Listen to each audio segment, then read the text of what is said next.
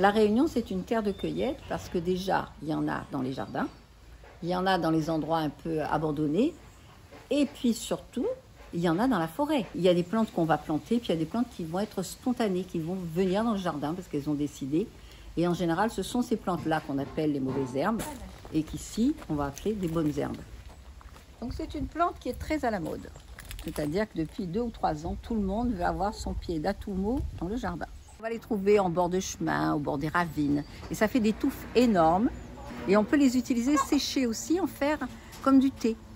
Et donc, c'est une plante de la famille des gingembres qui donne des fleurs hein, comme une orchidée. Et, donc là, dans cette plante, on va utiliser les feuilles et les fleurs. Et on va l'utiliser en comestible, par exemple les fleurs, moi je les mets dans le riz, et mon riz a un parfum de girofle, euh, très très parfumé. Alors là, on a une toute petite plante qui est sauvage, hein, qui fait partie des mauvaises herbes.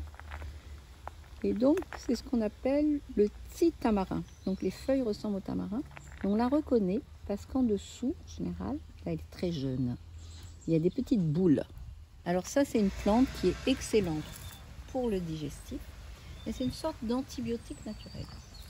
C'est-à-dire, par exemple, quand quelqu'un a des, problèmes de diarrhée et tout ça, on fait des tisanes avec ça. Mais on peut l'utiliser aussi quand on a eu une soirée bien arrosée. C'est-à-dire qu'on prend carrément toute la plante, là, on l'arrache.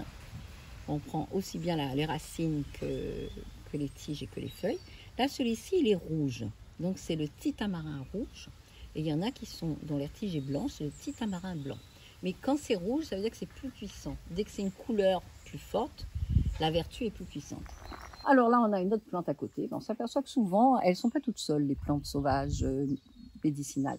Alors là, on a une plante qu'à La Réunion, on appelle le paillataire. Mais en vérité, c'est pas du tout du paillataire. Hein. Cette plante, en vérité, ça s'appelle l'amarante. Donc l'amarante, c'est une plante qui vient d'Amérique du Sud et qu'on utilise en bread, donc qui est comestible et qu'on peut utiliser aussi en tisane et qui a énormément de vertus. Il, y a, carrément une page de vertus quand on cherche les vertus de l'amarante.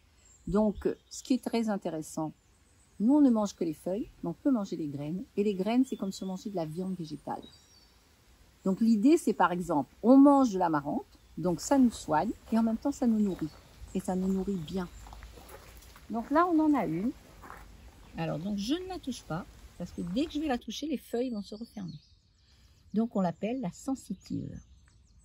Donc, c'est une plante euh, qui est, comme elle est très sensible, eh elle va soigner les gens sensibles.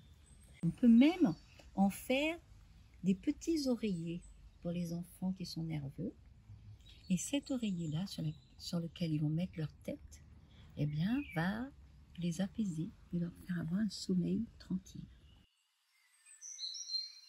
Une plante, pour qu'elle s'installe quelque part, ça veut dire qu'elle a voyagé, elle a choisi cet endroit-là, et elle est en pleine harmonie avec cet endroit.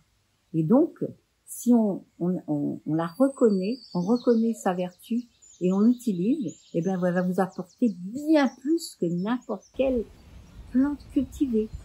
Donc moi, je suis complètement fan des plantes sauvages.